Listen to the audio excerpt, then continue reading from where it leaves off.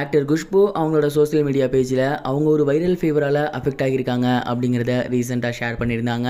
And அதில் அவங்க என்ன சொல்லியிருந்தாங்க அப்படின்னா ஒரு வைரல் ஃபீவர் என்னை டோட்டலாக மாற்றும் அப்படின்னு நான் கொஞ்சம் கூட எதிர்பார்க்கவே இல்லை. ரொம்பவே தலைவலிக்குது உடல்லாம் ரொம்ப சோர்வாக இருக்குது நான் இதை ரொம்ப அலட்சியமாக எடுத்துக்கிட்டேன் அப்படின்னு நினைக்கிறேன். உங்கள் உடம்புல ஏதாவது ஒரு வைரல் ஃபீவரோட சிம்டம்ஸ் தெரிஞ்சிச்சு அப்படின்னா கண்டிப்பாக அதை இக்னோர் பண்ணிடாதீங்க. ஹாஸ்பிட்டல் போயிட்டு உங்கள் ஹெல்த்தை என்னன்னு செக்அப் பண்ணி பாருங்கள் ரொம்பவே ஹெல்த்தியாக இருங்க. உங்கள் உடம்ப பார்த்துக்கங்க அப்படின்னு ஷேர் பண்ணியிருந்தாங்க. இந்த ட்வீட்டை பார்த்ததுக்கப்புறம் குஷ்பு மேம் அவர்கள் நல்லபடியாக குணமாகி சீக்கிரம் வீட்டுக்கு வரணும் அப்படின்னு எல்லாருமே ப்ரே பண்ணிக்கிட்டு இருக்காங்க. அண்ட் குஷ்பு மேமுக்கு ரொம்பவே க்ளோஸான ராதிகா மேம் சுபாஷினி மேம் இவங்க எல்லாருமே கால் பண்ணி பேசியிருக்காங்க அப்படின்னும் கூடிய சீக்கிரத்திலே இன்னும் ஒரு சிலர் நேரடியாகவே சென்று அவங்கள பார்க்க போகிறாங்க அப்படிங்கிற மாதிரியும் தெரிய வந்திருக்கு. குறிப்பாக சுகாசினி மேம் நேரடியாகவே அவங்க அவங்கள சென்று பார்க்கலாம் அப்படிங்கிற ஐடியாவில் இருக்காங்க அப்படிங்கிற மாதிரி தான் தெரிய வந்திருக்கு. சுகாசினி மேம் குஷ்பு மேம்லாம் பயங்கர க்ளோஸ் ஃப்ரெண்ட் அவங்க கூட சொல்லியிருக்காங்க குஷ்பு அவர்கள் கூட தான் நாங்கள் வெளியே போவோம். ஏன்னா அவங்க தான் நல்ல ஃபுட் இருக்க இடத்தையா சஜஸ்ட் பண்ணுவாங்க அப்படின்னு. ஸோ ரொம்பவே க்ளோஸான அவங்க கண்டிப்பாக பார்க்காமையா இருப்பாங்க. ஏற்கனவே கால் பண்ணி விசாரிச்சிருக்காங்க அப்படிங்கிறது தெரிய வந்திருக்கு. இப்போ நேரடியாக சென்றும் பார்க்க போகிறாங்களாமா நமக்கு இருக்க ஒரே ஒரு பயம் என்ன அப்படின்னா குஷ்பு மேம் முன்ன மாதிரிலாம் கிடையாது. இப்போ ரொம்பவே டயட் கண்ட்ரோலோடு இருக்காங்க. அவங்க ஹெல்த்தில் பயங்கரமாக கன்சிடர் பண்ணிக்கிட்டு இருக்காங்க.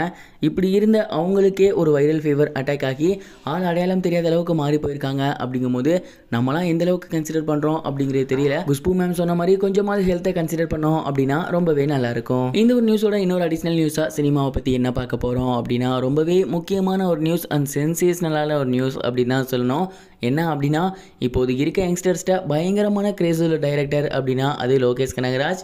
அடுத்து அவர் யாரை வச்சு இயக்க போகிறாரு அப்படின்னா தலைவர் சூப்பர் ஸ்டார் அவர்களை வச்சு தான். ரஜினிகாந்த் சாரோட நூற்றி எழுபத்தி ஓராவது படத்தை லோகேஷ் கனகராஜ் அவர்கள் தான் இயக்க போகிறாரு அப்படிங்கிற மாதிரியான ஒரு தகவல் வெளியாகியிருக்கு.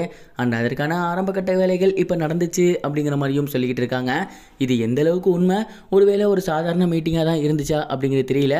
பட் இவங்க ரெண்டு பேரும் சேர்ந்து படம் பண்ணுறாங்க அப்படின்னா கண்டிப்பாக அது மிகப்பெரிய ஒரு ஹிட் ஆகும் அப்படிங்கிறதுல எந்த ஒரு சந்தேகமே கிடையாது. அண்ட் லோகேஷ் கனகராஜை பற்றி சொல்லவே வேணாம். அவரோட எல்சியு எந்த அளவுக்கு இந்தியன் இண்டஸ்ட்ரியில் ஒரு மிகப்பெரிய இம்பாக்ட் ஏற்படுத்தியிருக்கு அப்படிங்கிறது நமக்கு நல்லாவே தெரியும். தலைவரை பற்றி சொல்லவா வேணும்? அவர் எல்சியூக்குள்ளே போகிறாரு அப்படின்னா தமிழ் இண்டஸ்ட்ரியும் சரி லோகேஷ் கனகராஜோட எல்சியும் சரி வேற ஒரு தளத்துக்கு போகும் அப்படிங்கிறதுல எந்த ஒரு சந்தேகமும் கிடையாது.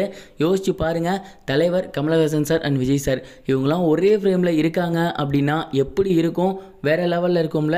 எல்லாருமே எதிர்பார்க்குறது அது ஒரு எல்சியூ கான்செப்டாக இருந்தால் நல்லாயிருக்கும் அப்படிங்கிறது தான் ஒருவேளை ஸ்டாண்ட் அலோனாக இருந்தால் கூட பரவாயில்ல. கண்டிப்பாக லோகேஷ் கனகராஜாவில் தலைவர் மிகப்பெரிய ஒரு பிளாக் பஸ்டர் அனுபவிப்பார் அப்படிங்கிறதுல சந்தேகமே கிடையாது.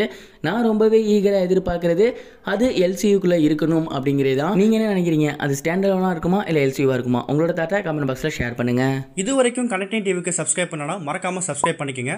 உடனடி அப்டேட்ஸ் பெறுவதற்கு நோட்டிஃபிகேஷன் பெல்லையும் கிளிக் பண்ணிக்கோங்க.